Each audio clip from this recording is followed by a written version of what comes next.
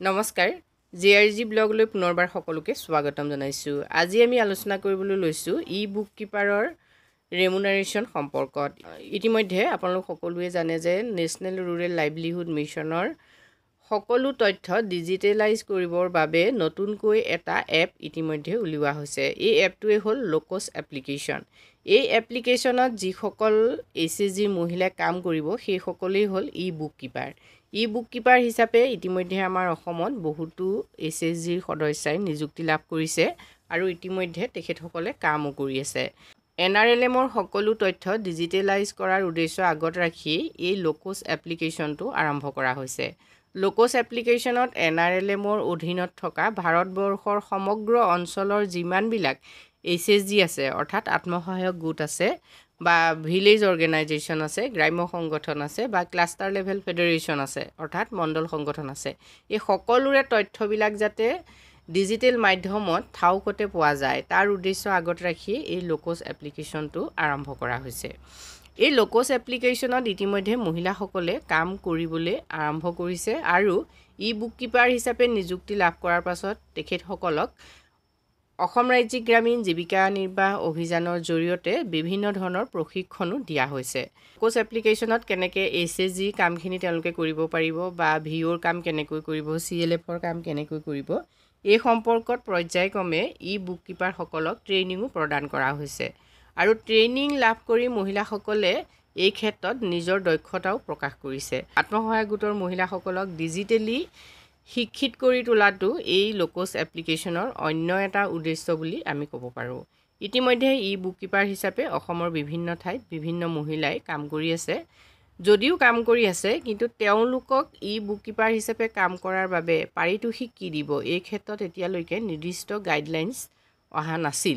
আমি এখন অসম ৰাজ্যিক গ্ৰামীণ জীৱিকা অভিযানৰ গাইডলাইনছ পাইছোঁ যিখন গাইডলাইনছ মতে যিসকলে ই বুক কিপাৰ হিচাপে কাম কৰি আছে সেই বুক কিপাৰসকলক কেনেকৈ তেওঁলোকৰ পাৰিতোষিকটো দিব লাগে সেই সম্পৰ্কত এই গাইডলাইনছত উল্লেখ আছে।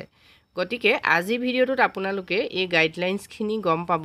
এইখন হ'ল অসম ৰাজ্যিক গ্ৰামীণ জীৱিকা অভিযানৰ পৰা অহা গাইডলাইনছ অ'পনৰ অফিচ অৰ্ডাৰ এই অৰ্ডাৰটো আঠাইছ দুই দুহেজাৰ চৌবিছত ওলাইছে। One time payment e book কিপাৰসকলক কেনেকৈ কৰিব লাগে সেই সম্পৰ্কত ইয়াত উল্লেখ আছে। চাওক প্ৰফাইল এণ্ট্ৰি যদি ই বুক কিপাৰগৰাকীয়ে লোক'ছ এপত এটা আত্মসহায়ক গোটৰ প্ৰফাইল এণ্ট্ৰি কৰে। তেতিয়াহ'লে এশ টকা মানে পাৰ এইচ এছ জি আপোনালোকে চাওক per H S G one hundred rupees তেওঁলোকে লাভ কৰে।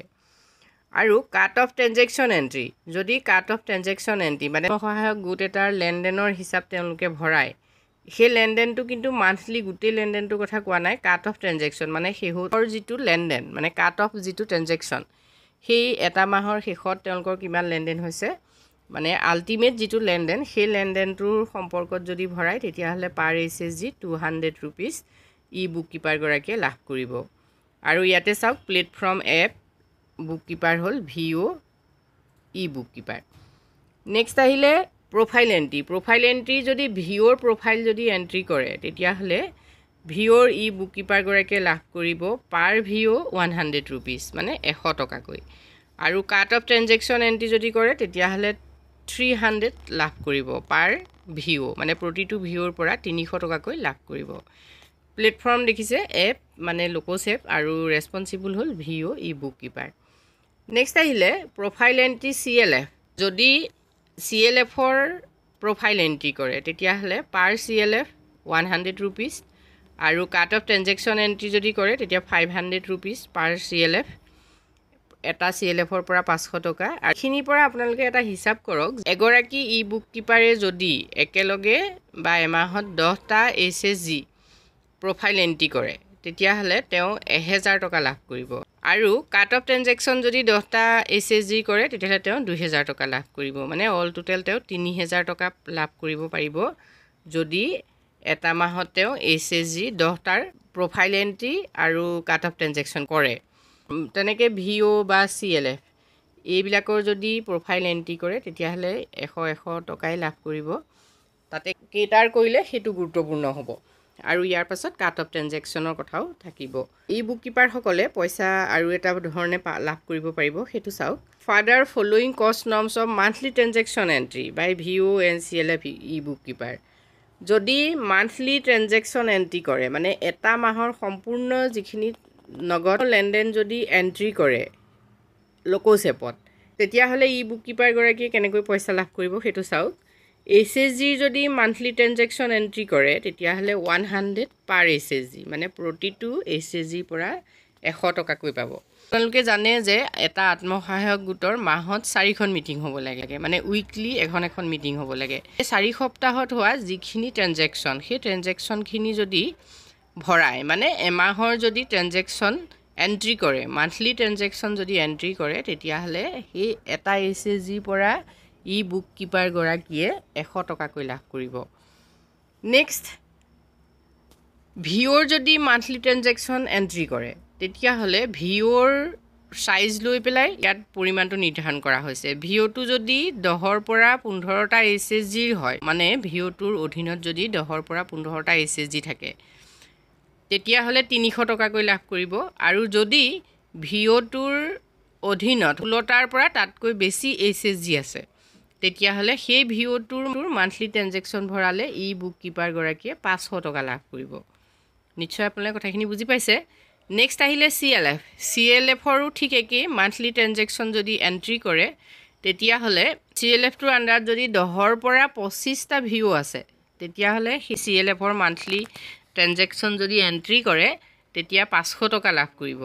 আৰু যদি চি এল এফটোৰ অধীনত ছাব্বিছটাৰ পৰা ছাব্বিছটাতকৈ ওপৰৰ ভিঅ' আছে তেতিয়াহ'লে সাতশ পঞ্চাছ টকা লাভ কৰিব ই বুক কিপাৰগৰাকীয়ে বুক কিপাৰৰ পাৰিতোষিকটো নিৰ্ভৰ কৰিব তেওঁ কৰা কামৰ ওপৰত। তেওঁ কিমান কাম কৰিব পাৰিছে বা তেওঁৰ অধীনত কিমানটা এছ জি আছে কিমান ভিঅ' আছে বা চি এল এফ আছে। মানে তেওঁৰ অধীনত বেছিকৈ চি এল এফ থাকিব বা ভিঅ' থাকিব বা এইচ এছ জি থাকিব সিমানে তেওঁৰ ইনকামটো বেছি হ'ব।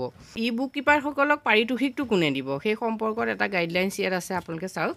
As per advisory from ministry of rural development government of India payment of V O' and C L F e book keeper shall be borne by A S R L M for the at least two years means from the date of rolling out of Lokos application thereafter community institution shall meet the expenditure from their income অৰ্থাৎ প্ৰথম অৱস্থাত এতিয়া দুটা বছৰ এই ই book কিপাৰসকলক ৰেমুনাৰেশ্যনটো দিব লাগিব এ S R L এমৰ তৰফৰ পৰা। সেইটো ইয়াত উল্লেখ আছে। আৰু এই দুটা বছৰৰ পাছত তেওঁলোকৰ যিটো ৰেমুনাৰেশ্যন হ'ব সেই ৰেমুনাৰেশ্যনটোক কমিউনিটি ইনষ্টিটিউশ্যনবিলাকে দিব লাগিব। সেইটো পিছৰ পৰ্যায়ৰ কথা। কিন্তু বৰ্তমান ই বুক কিপাৰসকলক ৰেমুনাৰেশ্যন দিব এ এছ আৰ এল এমৰ তৰফৰ পৰা। এইখন আপোনালোকে চাওক ইয়াত এয়া চহীসহ আছে আপোনালোকে দেখিছে। এই অফিচ অৰ্ডাৰ মতে ই বুক কিপাৰসকলে তেওঁলোকৰ পাৰিতোষিক লাভ কৰিব। যদি আপুনি ই বুক কিপাৰ হিচাপে কাম কৰি আছে তেতিয়াহ'লে আপুনি আপোনাৰ পাৰিতোষিক কেনেকৈ লাভ কৰিছে বা লাভ কৰিছেনে নাই কমেণ্ট কৰি জনাবলৈ নাপাহৰিব। আজি ভিডিঅ'টোত আমি আপোনালোকৰ বাবে এইখিনি কথা আলোচনা কৰিছোঁ। যদি ভাল লাগিছে কমেণ্ট কৰি জনাব। আজিলৈ ইমানেই। ধন্যবাদ।